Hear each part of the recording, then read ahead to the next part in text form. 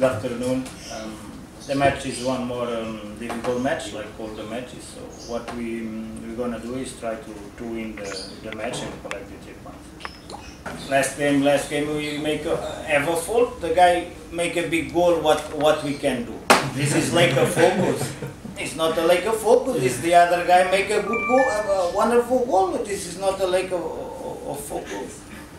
And that team uh, have uh, anticipate uh, to set piece.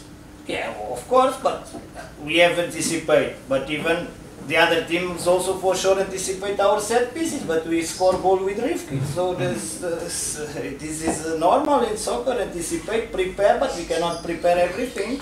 We don't know if the player, we have idea that the player usually go to the first post, but if in that game it change and go to the second one or to the last one, we have to be ready, but we cannot predict hundred percent what is gonna happen in the game. The game is unpredictable. It's why also the result in soccer is unpredictable. Okay, for if have problem finishing, we have a good thing that we create the situations for finishing. So this is positive. About the finishing, we have problem. We miss some. We miss some chances. Of course, it's true. But this is um, this is a, a situation that we training and we try to improve.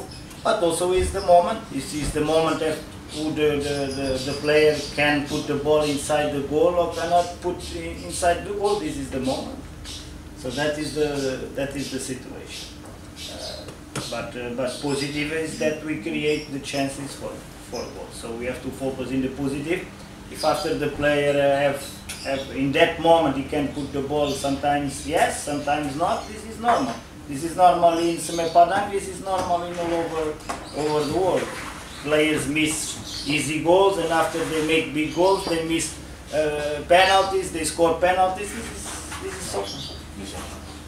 kita pemain semua tahu kita besok uh, lawannya itu penting kita harus cari tiga poin karena kita yang kemarin kita main di home dua kali kita kalah dua kali itu semua kecewa.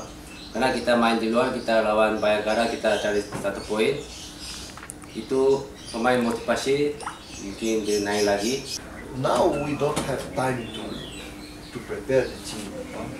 So since I, I arrived in,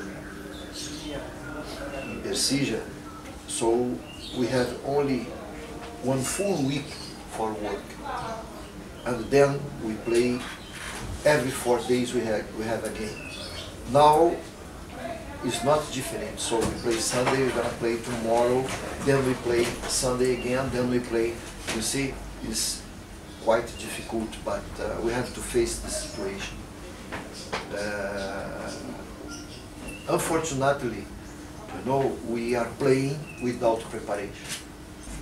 concentrados, né, focados no objetivo.